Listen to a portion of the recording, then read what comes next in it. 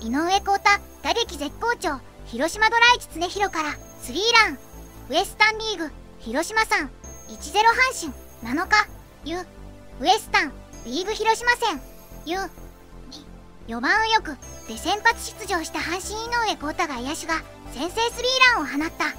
初回1死1三塁デビュー戦となった広島ドラフト1位常広隼人投手のフォークを左翼席へ運んだ。4月27日ソフトバンク戦。玉スタ地区後以来の4号からも打賞の活躍で打率も3割2分6厘まで上昇。チームも16安打10得点で大勝した。井上光太常広君からホームラン打っとるやん。調子良さそうだし一軍で見たいな。常広から打ったのポイント高いな。そろそろ一軍で見たいぞ。大コータホームラン打ったんか。相手はカープのドライチ常広くんか。井上光太調子いいから一軍に上がるか？4打数3安打3打点1本塁打。打率326一軍開けてやってもよいちゃう。一軍に上げるなら今だぞ。調子良い時に使ってあげてほしいな。もう花開くやろ一軍で見てみたいわ。まだ22やし頑張ってほしいわ。まだ22歳なんか熱い。キューボ井上光太が一軍に上がる方法。近本の肩力を考えて井上光太をレフトかライトに置くのありやと思う。前川くんもすごいんやけどな。そろそろ一軍に上げてもいいんでねえか。井上光太だいぶ覚醒してないか？3割維持しながら本塁打もこの時期で4本だし飛球も多少選べてる印象もあるし競争相手がノイジー前川森下なら昇格させて試してほしい成績だわ。井上光太くんはノーステップ否定派の僕を肯定派に変えてくれるのかもしれない。マジで一軍で見たい。小野寺の調整も兼ねて昇格してくれ。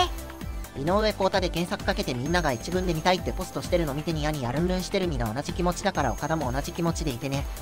井上光太マジなんじゃないか。前川ノイジーもいいんやけど右の長距離砲がレフトに収まるとデカスキルで甲子園やし本当に来てる。素晴らしい。だから早く井上光太を上げろと言っている。今年の井上光太はガチかもしれん。早く一軍で見たいな。水口打撃コーチの教えたノーステップ打法がやっと身についてきたんか。井上を早めに上げたって欲しいんやけど出るとこがな。レフトもめちゃくちゃ悪いかと言われればそうでもないし井上は一応ファーストもできるから小野寺の代わりに上げるか現状一軍で役割のないのは小野寺だけだからな。変えるならそこしかない。井上は岡田の間は上がることないよ。井上にもキャンプからオープン戦にかけてチャンスあったんやけどな。結果でなかったしここぞという時に怪我したんやっけ。上の誰かが不調かアクシデントで落ちてこないと厳しそう。どんでんは井上にはなんだかんだ優しい。期待してる。空割りと早めに呼ばれんちゃうか？とは思うけどな。コーチと取り組んでることをやり続けて了化してるしどんでんはそういうとこは評価しそう。井上よ打っとる OPS 枠上がり中の井上。井上とかいう本物。長打こそ正義の時代で長打しか打たない男。左の佐藤右の井上という生まれつきの長距離砲を並べたい。序盤の2分は単打でまくるだけだった。ここに来て長打も効果的な一打も出るようになったな。井上はノーステップで確実性上げて長打も打てるからもう上で育てる段階にはしてる。てか今日相手の先発常広だったのか？常広どうやった？井上いきなりスリーラン食らわした。フォークは切れてたただそのフォークを井上にすくい上げられてスリーラン。直球は150いかないくらい。井上マジでそういながらファールもいい当たり多いし。ガチで二分者的なしクラスになってきたな。小野寺と井上入れ替えようか。ノーステップにして三振減って打率が上がったわな。ええ時に上げたらんとな。